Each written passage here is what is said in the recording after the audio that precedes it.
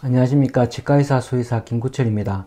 자 오늘은 고양이 전발치에 관해서 잠깐 말씀을 드려볼까 합니다. 고양이 전발치 같은 경우는 주로 이제 심한 구내염을 앓고 있는 고양이들 같은 경우에 이제 약을 먹어서 해결이 안 되는 애들 같은 경우 이제 이빨을 전부 다 뺨으로써 그 고통에서 벗어날 수 있게 해주는 시술로서 그렇게 아주 흔한 케이스는 아니지만 꽤 자주 고양이 치과에서는 시행이 되는 시술입니다. 그런데 이 고양이 전발치 같은 경우는 뭐 그냥 우리가 단순하게 생각했을 때 그냥 이빨을 쑥 빼는 거니까 그게 뭐 어렵겠나 생각을 하지만은 어 실제로 어 고양이 전발치 같은 경우는 꽤 많은 테크닉이 필요하고 많은 경험들이 필요한 것이 사실입니다.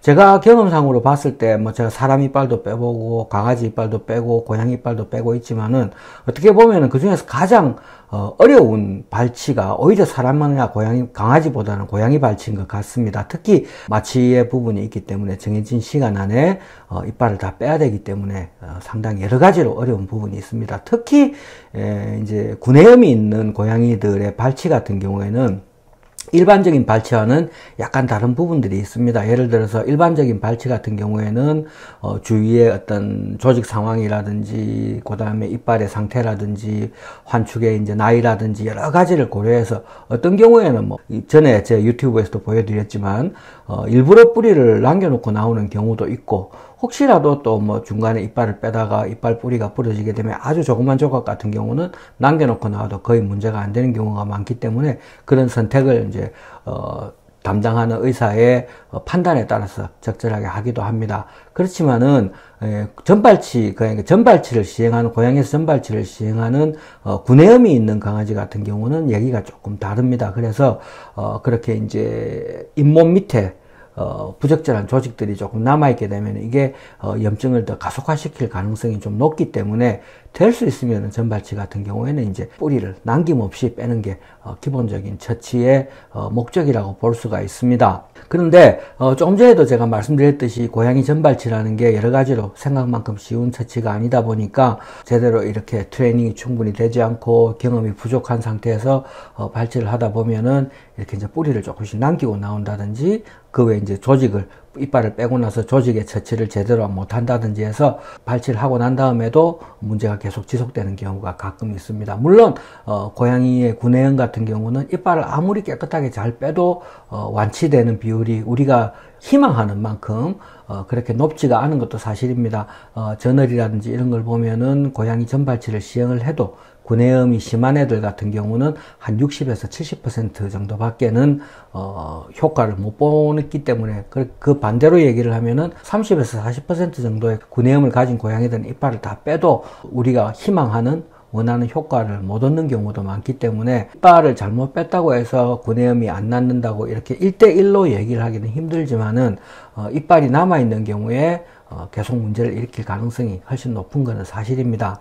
저 같은 경우에 이렇게 보면은 다른 데서 전발치를 했는데 이렇게 계속 낫지가 않아서 다시 저한테 이렇게 이제 의뢰가 오는 경우가 가끔 있습니다. 그래서 보면은 이제 밑에 뿌리가 남아 있는 경우가 꽤 많고 아니면 이제 조직 자체의 처치가 뿌리까지는 남아 있어도 치조골, 잇몸 뼈의 어떤 처치가 조금 부족했다든지 그런 것 때문에 구내염이 잘 해결이 안 되는 경우도 꽤 많습니다.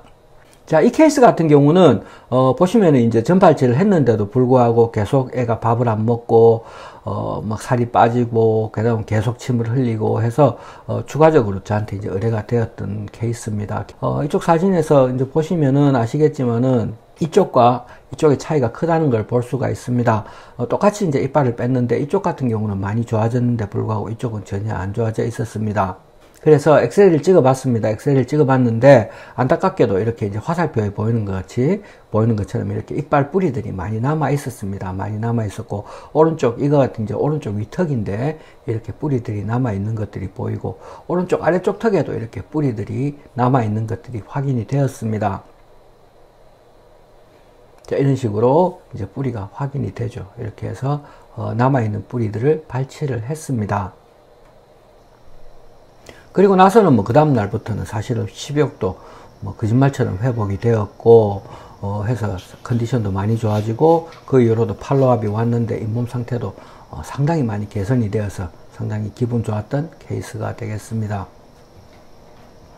자, 이 케이스 같은 경우에는 어, 보시다시피 얘 같은 경우는 앞쪽에 있는 견치가 발치가 안 되어 있었습니다.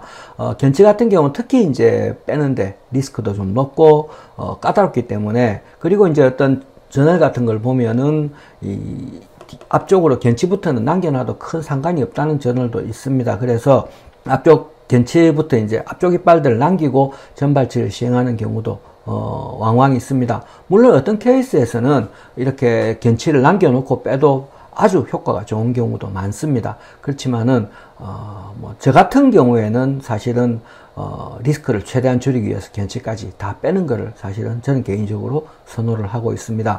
자, 여기 보시면은 어, 견치를까지 이제 견치를 남겨놓고 뒤쪽 이빨을 다 뺐는데도 불구하고 이렇게 목구멍 안쪽으로 어, 염증이 아직도 심한 것을 볼 수가 있고 어, 환축도 고양이 자체도 뭐 식욕도 거의 없고 보시면은 뭐 입가도 아주 지저분하죠. 다시 한번 검사를 하게 되었습니다. 음, 전신 마취를 하고 이제 검사를 해보니까 이쪽 사진에서 보시다시피 안타깝게도 어, 뿌리들이 많이 남아 있는 것들이 확인이 되게 됩니다. 오른쪽 같은 경우도 이렇게 많이 남아 있고 그 다음에 아래쪽에 오른쪽 턱도 이렇게 뿌리들이 많이 남아 있습니다. 그리고 앞쪽 이빨들도 이렇게 발치가 안 되고 뿌리가 남아 있는 이빨들이 확인이 되었습니다. 자 이렇게 이제 보이시죠? 확인된 것들이 이렇게 해서 이제 어 이거 같은 경우는 뼛속에 감춰 있고 잘 보이지가 않기 때문에 이렇게 정확하게 위치를 확인하기 위해서 이렇게 이제 바늘을 써서 어디 있는지 확인을 하고 이렇게 이제 발치를 진행을 하게 됩니다. 이렇게 해서 발치를 진행을 하게 되죠.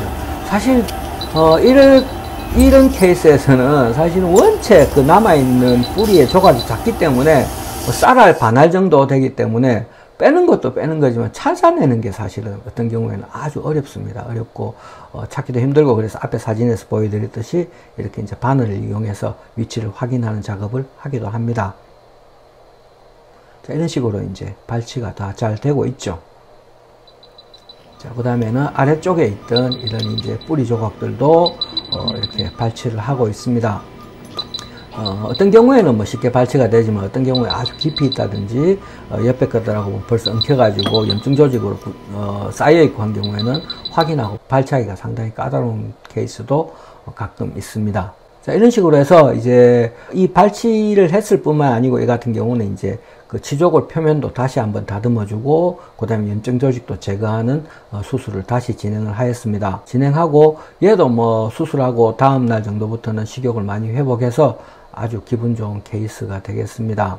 자, 이런 것처럼 에, 고양이들 같은 경우에는 뭐 금방도 말씀드렸듯이 예민하기도 하고 하기 때문에 마취를 두 번, 세 번 하는 것도 보호자님들도 부담스러워 하시고 저희 수의사 선생님들도 부담스러워 하는 경우가 사실은 많습니다. 어, 그래서 고양이 전발치 같은 경우는 사실은 어, 일반적인 발치와는 처음에 말씀드렸듯이 조금 다르기 때문에 좀 더 숙달된 그 다음에 경험이 많은 어, 수의사 선생님들 어, 한테 이렇게 의뢰를 해서 어, 발치를 하시는 게 이렇게 두 번, 세 번 어, 애를 고생시키지 않는 가장 좋은 방법이라고 생각합니다. 오늘은 여기까지 하겠습니다. 감사합니다.